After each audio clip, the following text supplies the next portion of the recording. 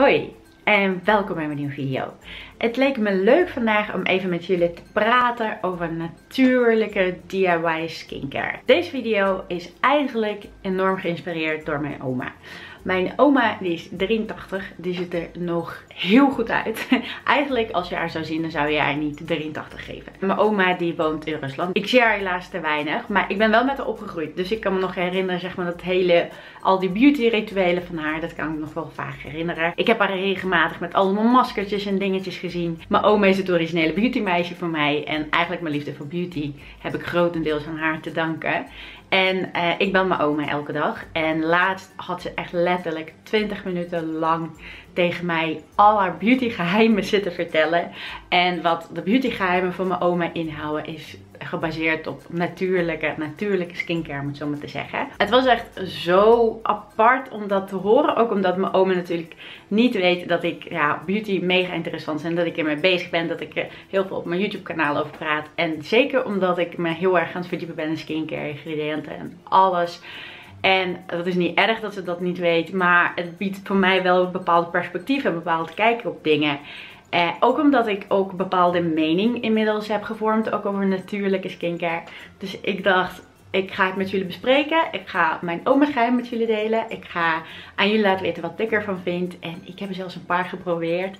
Um, dus um, laten we gewoon praten over de hele natuurlijke skincare hoe het werkt, wat, hoe, welke meningen zijn erover. Kortom, laten we snel beginnen. Nadat ik mijn oma heb gesproken, heb ik meteen al haar geheimen en tips en zo opgeschreven uh, in notities op mijn telefoon. Dus als ik af en toe naar beneden kijk, dan weten jullie dat. Want het was redelijk veel, moet ik zeggen. En alle details, oh, ik vond het geweldig. Haar eerste tip, en dat zei ze eigenlijk redelijk snel, eigenlijk alles waarmee je kookt, doe dat ook op je gezicht. En dan bedoelt ze bijvoorbeeld aardbeien mee, dan bedoelt ze komkommers mee, dan bedoelt ze kwark mee, aardappelen. Ik lees over skincare en ik kijk verschillende dingen erover. Ik luister naar specialisten erover.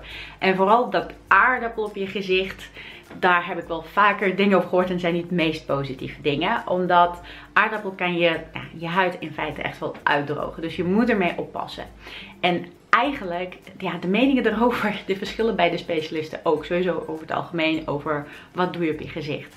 De specialisten zeggen eigenlijk alles wat bedoeld is voor in je eten hoeft niet op je huid zeg maar gesmeerd te worden. Maar goed, mijn oma doet het al jaren.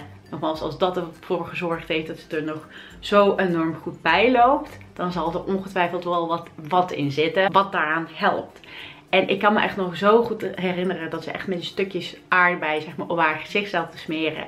En die rode gloed, dat wat ze daarvan kreeg. En dat zegt ze ook daarbij. Hè. Ze zegt, aardbeien geven je ook echt letterlijk een gezond kleurtje. Dat is het rode van aardbeien.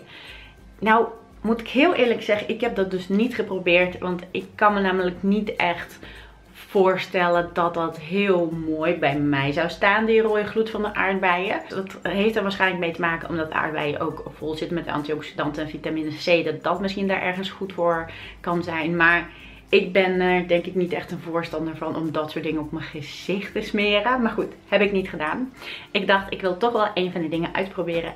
Dus wat heb ik gedaan? Ik heb kwark of yoghurt. Ik weet het eigenlijk niet. Het was iets magers op mijn gezicht gesmeerd.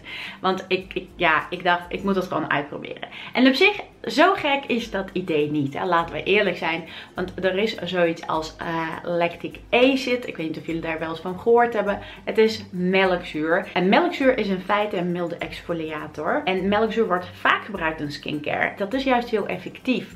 Alleen melkzuur wat in skincare wordt gebruikt en melkzuur wat in kwark of in yoghurt zit, er zit toch wel een verschilletje in. Ik moet jullie eerlijk zeggen, ik heb het geprobeerd. Sowieso, ik heb het ongeveer, ik denk minuten 10, 15 uitgehouden. Het begon mijn gezicht uit te drogen. Ik kreeg ook echt zo'n droog laagje op mijn gezicht. Ik voelde dat het echt vocht uit mijn huid ging trekken. En toen ik het af had gespoeld, voelde mijn huid zo droog aan. Ik heb meteen eigenlijk redelijk nog snel kunnen herstellen door hele hydraterende uh, crème doorheen uh, te gebruiken. Ik heb geen serum tussendoor gebruikt, puur om te zien van wat heeft met, met mijn huid gedaan. Een soort van eerlijke kans te geven. Nou ja, Ik denk dat het voor mijn huid redelijk stressvol was. Op zich, het heeft er oké op gereageerd. Alleen het gevoel van droogte, nee. ik gebruik liever mijn normale exfolianten.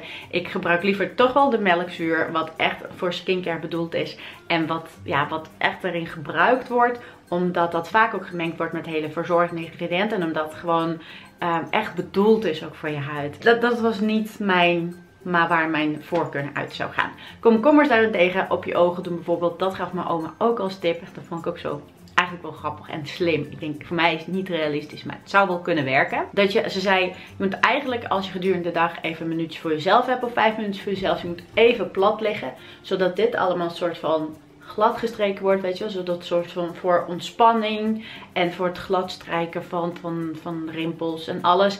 En dan twee van die komkommertjes op je ogen en gewoon even ontspannen. Datgene wat met ontspanning te maken heeft, dat zal absoluut voor iedereen werken. En dan hoeft het denk ik niet per se plat te liggen als je maar gewoon, gewoon even kan ontspannen. Dat je even tijd voor jezelf neemt en even een dutje doet. Ik wil laten eerlijk zijn, dat kan absoluut voor niemand kwaad. Maar ik heb er geen tijd voor. Ik kan dat ook niet ergens. Maar het lijkt me echt wel, wat dat betreft, echt absoluut geen verkeerde tip. Alleen het moet wel in je levensstijl passen, denk ik. Mijn oma had ook nog een paar tips gedeeld over hoe zeg maar te voorkomen dat je hier een soort van tweede uh, kind krijgt. sowieso was haar eerste tip en ik weet echt nog zo goed, want vroeger deed ik eigenlijk ook met haar mee. Ze zegt je moet met je kind eigenlijk zo alfabet proberen te schrijven. Ik, ik weet, ik deed het vroeger ook, ik deed het met haar mee, alleen bij mij zat er geen regelmaat in. En om heel eerlijk te zijn, ik weet niet of dit echt zou werken. Ongetwijfeld zal iets van, van waarheid in zitten. Maar ik denk dat je dan ja, beter gewoon kan gaan sporten. Misschien dat het ergens inderdaad op die manier je huid strakker kan trekken. Ik heb geen idee eerlijk gezegd hoe dat anatomisch gezien of dat überhaupt mogelijk is. Maar dat is wel wat mijn oma deed. En ze zegt ja, als dat echt heel erg wordt, dan gaf ze de ultieme tip. En ze zegt, je hebt van die eh, elastische banden, zeg maar, waar je bijvoorbeeld, ja, elastisch verband, zeg maar, wat je kan gebruiken, wat je eigenlijk overal kan kopen, ook bij het en zo. Ze zegt, uh, je moet een, bakje water nemen en daar een lepel zout in doen, de elastische band daarin doen. En uh, dan moet je dat, zeg maar, die elastische band hier zo omheen doen. En dan hier zo vastbinden bovenop je hoofd. En daar ongeveer 20 minuten half uur, misschien zelfs een uur. Daar moet je dus mee rondlopen. Want het zou ervoor uh, dus zorgen dat het soort van strakker wordt. Nou kan ik me niet voorstellen dat het effect blijvend is. Behalve als het echt heel erg matig doet, maar dan nog. Om heel eerlijk te zijn, ik kan me niet voorstellen. Daarnaast het zout op je huid. Ik denk persoonlijk dat het enorm uitdrogend zal zijn. En dat het misschien daardoor lijkt dat het een soort van strakker wordt. Omdat je huid echt zoiets heeft, weet je wel. Maar heel blijvend effect, weet ik niet. Ik heb het niet geprobeerd, voor mij iets te extreem. Wat ik trouwens wel een goede tip vond. En dat wilde ik eigenlijk uitproberen. Maar uiteindelijk denk ik van ja, sorry, het is te veel moeite. Ik ben ook een klein beetje, klein beetje lui wat skincare betreft misschien. Sowieso wat DIY skincare betreft. Als je bijvoorbeeld iets van peterselie hebt. Um, dan moet je het steeltje daarvan afknippen. Dan moet je een ijsblokjesvormpje doen. moet je water aan toevoegen en dan moet je invriezen. Dat je uiteindelijk zeg maar, bijvoorbeeld kan gebruiken voor onder je ogen. En nou ja, dan, dan, zeg maar, dan is het een soort van ijsblokje voor om je gezicht rondom je ogen. Maar dan met benefits van vitaminevaten of zo. Lijkt me ergens een heel relaxed idee. Ik zou het sowieso niet direct op de huid aanbrengen. Omdat als je echt ijsblokjes um, op je huid aanbrengt, zou ik echt een doekje omheen doen. Maar het is voor mij ja, persoonlijk te veel moeite voor zoiets. Terwijl ik denk, ja, ik heb ook zo'n soort van massageroller speciaal voor de ogen, zeg maar, voor rondom de ogen. En hij is redelijk koud, dus was het effect daarvan ook best wel goed. En ik vraag me af hoeveel effect dat water met peterselie zeg maar echt daadwerkelijk aan extra vitamine geeft. Maar goed, het kan absoluut, absoluut werken. Wat trouwens over het kouwen gesproken, wat mijn oma ook zei, ja zeker als de sneeuw ligt. Um, als je zeg maar met zo'n stukje sneeuw zeg maar dan op je gezicht gaat wrijven. Dat heb ik wel geprobeerd. En dat heb ik geprobeerd toen er nog sneeuw buiten lag, genoeg sneeuw. Um, en ik moet jullie heel eerlijk zeggen, het effect daarvan was een beetje verwarrend. Het was lekker, maar ook weer niet lekker. Maar ook omdat ik soort van in mijn achterhoofd had hoeveel stress moet dit mijn huid opleveren. Want op het moment dat je echt een enorme schommeling van temperatuur zeg maar, hebt op je huid, dan schrikt je huid daarvan. En dan is het echt zo van, wat gebeurt daar, weet je wel? Het kan absoluut verkwikkend effect geven. Ik zou het niet elke dag doen. Ik zou denk ik, ja, ik weet niet of ik het überhaupt ooit nog een keer zou doen. Maar ik snap het effect daarvan. Maar ik weet niet zo goed of dat echt heel fijn is, om heel eerlijk te zijn. Nog een tip waar mijn oma het over had, is over een soort van, wat is het, lymfemassage of zo heet dat. Ehm, en dat, is, dat vind ik eigenlijk wel een hele goeie. En ze zei, hoe zei het dus ook weer, ze zegt je moet vanuit neus naar je slapen gaan. Dan weer terug, maar volgens mij via de wenkbrauw zoiets. En ze had het eigenlijk om een soort van 8. Ik denk zoiets. Inderdaad. En dat kan ik me best wel voorstellen. Omdat dit natuurlijk, dit wil je strakker. Dit wil je allemaal een soort van naar achteren trekken. En um, ik weet niet of ik dat heel snel... Ja, het kan natuurlijk wel met je handen. Maar ik heb ook zo'n roller wat ik dan heel fijn bijvoorbeeld vind om te rollen. Zeker als ik een uh, sheet mask uh, gebruik. Dan zie je zit met die roller een beetje in dat soort richtingen te rollen. Vind ik echt super lekker. Um, ik weet niet zo goed hoe, of dat echt qua zeg maar echt werking heel erg effectief is. Maar het is gewoon qua ontspanning en, en dit allemaal zo, zo, zo recht trekken. Zeg maar, dat kan ook absoluut geen kwaad. Dus eh, dat vond ik wel een hele goeie. Oh ja, dat vond ik ook, de volgende tip vond ik ook veel zo opvallend. Mijn oma gebruikt eigenlijk altijd wel een bepaald soort crème. Dus een, een soort van anti-aging crème wat je gewoon bij een drogist kan kopen. Ze kijkt niet echt naar ingrediënten. En wat ze zei, zegt altijd een crème gebruiken. Altijd. En zegt uh, gewoon een lekker vettige crème gebruiken. Dus lekker voedende crème. Goed aanbrengen. Even wachten, even laten intrekken en dan de restjes verwijderen met een doekje bijvoorbeeld. En ze zei waarom? Ze zegt zodat je poren niet van verstopt raken.